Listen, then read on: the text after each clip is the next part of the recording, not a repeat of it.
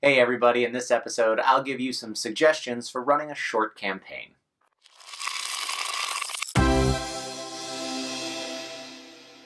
When Tucker ran Shadowrun for Dawn and I the very first time, we had no idea what we were getting into. It was just him, the GM, and two of us.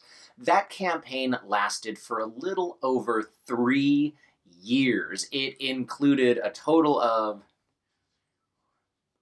six different people, and four people um, were the main gaming group. And Dawn and I each ran t- three different characters. It was epic. It was so much fun. We still talk about it, we reference it. It was absolutely a blast.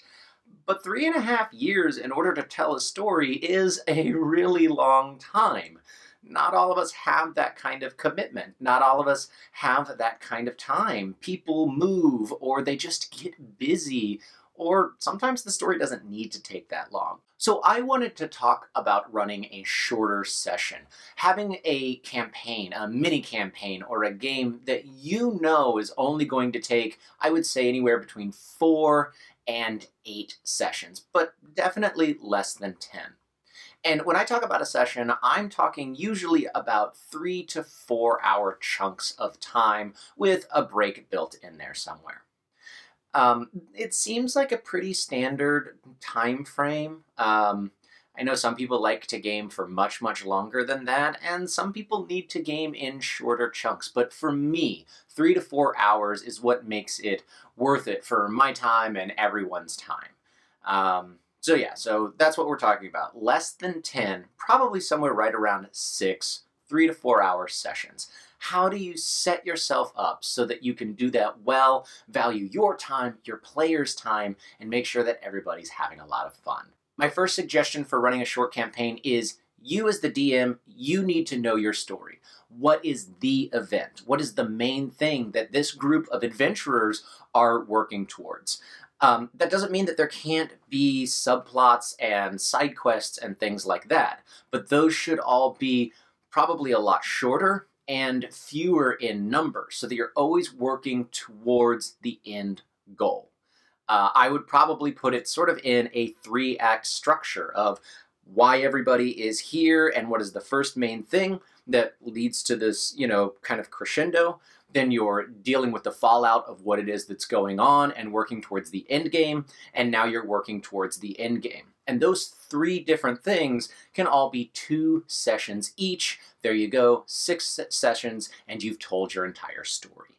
The second thing that I think that you should do if you want to run a tight, short campaign is skip the session zero. Now, if you've been watching this channel for a while, you'll know that that sounds a little strange. Dawn and I love Session Zero, and I think that there's a lot of really good reasons for it. But if you're on a time crunch, you've only got your six sessions, then I don't think that it's worth it to use an entire session sometimes two, in order to introduce all of the characters and who are they and tease their backstory. And then it's sort of the herding cats that you have to play as a GM of getting them all to decide why they're going to work together. I say skip all of that. Now, that doesn't mean that you just throw all of your players together. I think that it's really important that you're in communication with your players from the very beginning. And whether that's through text or messenger or getting people together, one or two or all of you at a time at a coffee shop or a bar, and talk about the characters that they're creating, that's still really important but I don't think that you need that session zero of introducing everyone to each other. So that means as you talk to your players and you start to design that first session for everybody, they all need to know each other. They should all know each other and have a reason to be working together. Maybe they're all a part of the same guild. Maybe they're all a part of the same street gang or army. Maybe they're all in a fighting arena together. I don't know. That's going to be a part of the story that you put together. But skip all of the, well, this is my name and this is where I'm from and this is why I maybe want to work with this group, but maybe not. You have to convince me. It eats up a lot of time. And while it might be really rich for role play and backstory, it's not the place that I want to spend all of my time and efforts if I've only got six sessions with everybody around the table. My third suggestion is the one that's maybe a little bit more controversial and um, some of you might not agree with. In fact, I almost didn't include it in this video, but I do think it's important. And that is no newbies at the table. Okay, now I'm not trying to be a gatekeeper and I'm not trying to say that um, uh, don't invite new players to uh, run with you, or you can only play with the people that you already know. When I say no new people at the table, what I'm talking about is, well, first of all, remember the point of what we're saying. You've got six sessions with these people, and that's it. So, if you're going to streamline those experiences, those six, three to four hour chunks of time, you don't want to waste a lot of time with not understanding the rules or how the character works or even how the system itself functions. So it's not that you can only play with people that you already know. It's what I'm saying is is that no one at the table, you included as the GM, should be brand new to the system that you're running look, if you have no idea how to play um, a a D20 system like, uh, let, let's say, Dragon Age, then on a time crunch, I don't think that it's a great idea that you're learning how to play the game as a player or as a GM uh, for the first time when you've only got so much limited time together. Or let's say that you've only ever played uh, one system and you really want to introduce your friend to it. Um, maybe that's not the time, you know, this time crunch six campaign, uh, six session campaign. Um, there's other places for that. Now, if the whole point of running your mini campaign is that you and a bunch of friends all want to try a new um, a new gaming system out together, well then obviously ignore this step. It has no place there.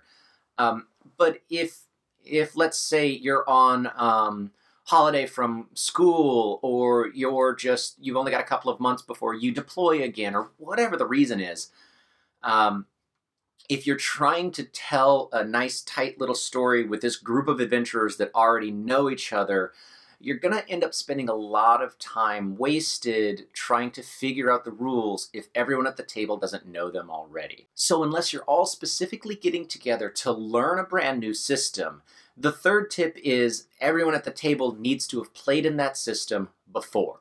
No newbies. And lastly, as a GM running a mini campaign, you need to be prepared. Have a list of shop names and use tables to generate your uh, treasure and your loot and your shop contents. And with those different types of things, get used to telling your players no. Now, telling your players no without killing the creativity or um, stomping on their fun. But sort of things like if your players are spending a whole lot of time because they feel like maybe there's uh, more information to be gained by interrogating a blacksmith that works for the keep, if that's not a part of the story that you've got, and it's not something that you really have the time to create a bunch of side plot for, one way of doing that is simply asking for a wisdom check or an insight check or something along those lines, and then pretty much whatever they roll, you can kind of gently nudge them to move on by saying something along the lines of, uh, You're pretty sure that this blacksmith doesn't have any more information, and he's getting frustrated, and it's going to be a waste of your time to keep this up. It's not stomping on their creativity, and it's not flat out telling them no, but it's a way of guiding them back onto that main story. As well as I was talking about being prepared with your notes and your lists and things like that. That way, you're just not wasting two, four, five, ten minutes at a time of rolling things up and figuring out names and trying to remember what was going on. Remember, we've only got, you know, three or four hours, and we've only got those six sessions. And so, quote unquote, wasting five minutes here and there just to try to figure out what the loot is, well, all of that can kind of add up. So, tip number four plan ahead and gently get used to telling people no. All right, folks, so there you go. Are you running a shorter campaign, something along the lines of six sessions? Well, those are my tips to make sure that you're staying on track and everybody's having a lot of fun. All right, folks, so have you run campaigns that are on the shorter side of things? Maybe the entire story is told in only four sessions, or six, or eight, or something like that. What do you do ahead of time or while you're at the table to make sure that everybody's having a good time and the entire story gets told. I'd love to hear your tips and suggestions in the comments below. And what do you think of the four things that I laid out in order to make sure everything's running smoothly? A big thanks to all of our patrons, especially to Sean. If you want to support our channel, you can head over to our Patreon page and check out the perks of being a patron. So thanks for watching this video. Come back every week to see what it is that we're up to, as well as follow us on social media, Twitter and Instagram, in order to um, see all of the videos that we're putting out and the other places where you can watch us. Don't forget to like and share and tag a friend if you think that this video would be helpful for them. But until next time, I'm Ryan, and this is Roll for Initiative. Bye.